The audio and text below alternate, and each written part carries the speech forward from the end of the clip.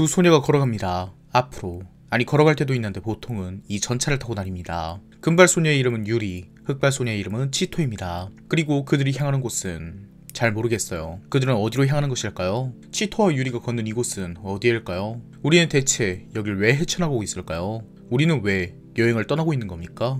소녀, 종말, 여행 이 질문들에 대해서 아무런 답도 해주지 않는 만화입니다. 네, 이 작품 애니메이션으로 접한 분들이 더 많을 거예요. 근데 애니메이션 안 봤어요. 만화만 읽었습니다. 제가 애니메이션 같은 영상 매치를 선호하지 않아서 그러니 양해 바라요. 이 작품은 앞에 스토리를 요약할 것이 별로 없습니다. 6권이나 되는 작품이지만 하는 것이라고는 되게 비슷하죠. 그들은 먹고 앞으로 나가고 자고 생각합니다. 가끔 운 좋게 물을 만나면 오랜만에 샤워도 하고 아직 썩지 않은 식량을 보면 연명을 할 수 있는 시간이 늘어납니다. 소녀들이 나아가는 이곳은 거의 멸망해버린 세계예요. 뭐 전쟁이나 그런 것으로 인간들끼리 싸우다가 멸망한 것으로 보입니다. 그래서 곳곳에 무기의 잔해들이 널려있고 소녀들이 타고 다니는 것도 전차죠. 물론 먹고 자고 앞으로 가는 중간중간 물을 만나는 것보다 재미있는 경험도 합니다. 사진을 찍고 지도를 그리는 사람을 만난다거나 이 도시를 탈출할 비행기를 만드는 사람을 보거나 가끔은 사람 비슷한 기계를 만나기도 하고 물고기를 살리기 위해서 도시를 해체 중인 기계를 죽이기도 해요. 말이 통하지 않는 물고기를 위해서 말이 통하는 기계를요. 화약을 먹는 동물 비스무리한 것을 만나기도 하고 그 녀석을 무리로 돌려주는 경험을 하기도 합니다. 이 종족은 지구의 화약, 폭탄 같은 불안정한 것들을 안정한 상태로 돌려놓은 존재들 그들이 정화할 것이 없어진다면 그들 역시도 영원한 한식을 취하고 지구는 영영 죽게 되겠지요. 그리고 소녀들은 앞으로 더 나아갑니다. 가는 길에 목적지도 정했어요. 이 도시에서 가장 높은 곳으로 말이지요. 식량은 점점 떨어지고 전차는 삐걱거리고 이제 돌아가기란 늦은 시점에 전차가 완전히 고장나 버립니다. 이 절망 속에서 계속 살아가던 소녀들 그중 치토가 처음으로 눈물을 보여요. 하지만 어쩔 수 없습니다. 이 자리에 영영 멈춰 설 수는 없으니까요. 왜냐하면 지금 멈추지 않더라도 그들에게는 분명히 끝이 존재하기 때문이에요. 식량이 거의 다 떨어졌거든요. 두 사람은 지금까지 자신들을 지켜주던 무기, 헬멧도 버리고 최상층까지 다 다릅니다. 그리고 최상층까지 도달한 그들이 마주한 건 위에 아무것도 없는 곳, 식량도 모두 떨어졌고 둘밖에 없습니다. 여기까지 와서 치토는 살짝 후회도 해봐요. 우리는 이러는 게 옳았을까? 좀 더 일찍 되돌아가서 다른 곳으로 갔다면 훨씬 따뜻하고 먹을 것도 있는 장소에 어쩌면 도착할 수도 있지 않았을까?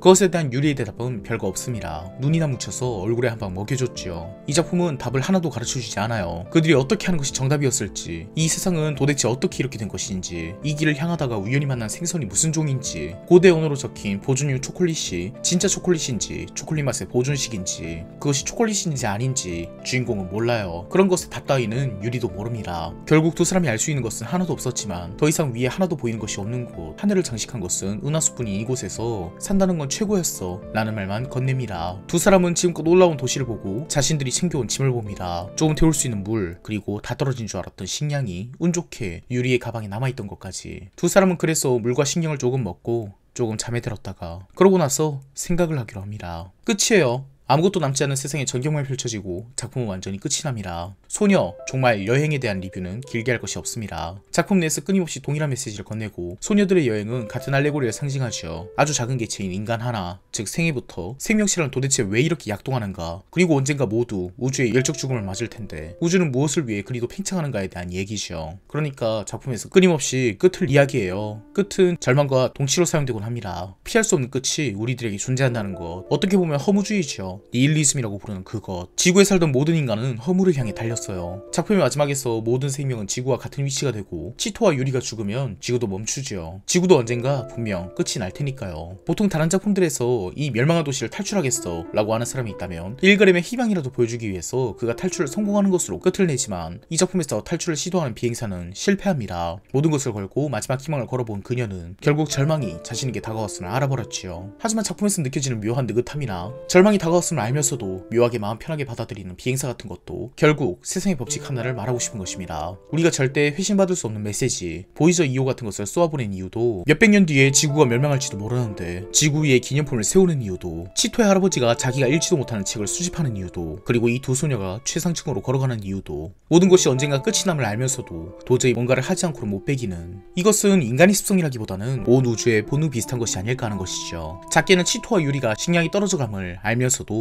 조금이라도 더 열량을 아끼기 위해서 같은 자리에 있지 않는가와 우주가 팽창하면 팽창할수록 죽음이 빨리 다가오는데 왜 조금이라도 안정된 상태를 취하지 않는가 같이 그리고 우리는 모두 언젠가 죽을 것임을 알면서도 위험하고 힘든 일을 무리를 해서라도 하고 싶은 것인지 그것에 대한 이야기예요. 이 작품에서 절망은 허무가 끝에 있다는 이야기와 같지만 허무가 끝에 있다는 것은 삶 자체가 허무하다는 얘기는 아닙니다. 누군가는 끝에 허무가 있다는 사실 받아들이지 못해서 죽음 뒤에 사후세계가 있길 바라는 종교를 찾기도 하지만 종교를 믿지 않는다고 삶이 허무하다고 생각하는 것은 아닙니다. 삶의 끝에 허무가 존재한다는 것과 삶이 곧 허무다는 동치가 아니니까요. 그래요. 작품의 제목인 소녀 종말 여행은 일본식 말장난이기도 하지만 종말과 여행이라는 말이 작품의 포인트이기도 합니다. 종말 위를 걸어가는 여행이 얼마나 즐거운지 그리고 우리의 여행길 끝에 종말이 있다는 것은 지금 흔들리는 우리네 삶이 얼마나 빛나는지 말해주니까요. 그리고 치토와 유리의 종말은 그렇게까지 절망적이지도 않았습니다. 그들이 가장 보고 싶어하던 하늘을 보았고 가던 길에 고꾸라지지 않은 것이 얼마나 행운입니까? 그리고 삶의 가장 끝에서도 즐거운 일이 생겼죠. 다 떨어진 줄 알았던 식량이 하나 남아있잖아요. 이 식량이 남아있는 것이 어떤 의미가 있냐고요? 어차피 치토와 유리가 오늘 죽을 것이 내일로 미뤄진 것뿐 아니냐고요? 결국 이 장면이 작품의 핵심입니다. 어차피 죽으면 다 끝이다 라는 끝은 받아들이되 그 길로 향하는 하나하나는 즐길만 하지 않은가. 이 작품은 사실 이렇게 굳게 믿고 있는 사람보다 그렇게 믿지 못하는 사람들에게 더 의미가 있을 듯 합니다. 치토와 유리는 삶의 마지막까지 자신들이 걸은 여행이 너무나도 즐거웠다고 굳게 믿었지만 이 리뷰를 쓰고 있는 저도 이 리뷰를 보고 있는 여러분도 여러분의 죽음으로 향하는 삶이 과연 의미가 있는가에 대해서 회의를 가질 것이고 우리가 살아있었다는 것은 과연 즐거운 것일까 그것에 대해서 늘 의심하면서 살아왔을 거예요. 특히 끝에서의 허무주의를 삶이 허무하다로 받아들인 사람은 더더욱이요. 이런 사람들에게 소녀 종말 여행은 여러분의 여행에 조금 더 위로를 줄 수 있을 것입니다. 당신이 걷는 길도 치토와 유리의 길처럼 조금 외롭고 많이 힘들기도 하고 친구를 잃거나 남의 실패를 보기도 하면서 우울한 여정일 때도 많았지만 이 작품이 농담처럼 치유물로 불리지만 저는 정말로 치유가 된다고 생각해요. 제 인생도 그들의 여행 같을 것이라고 믿으면서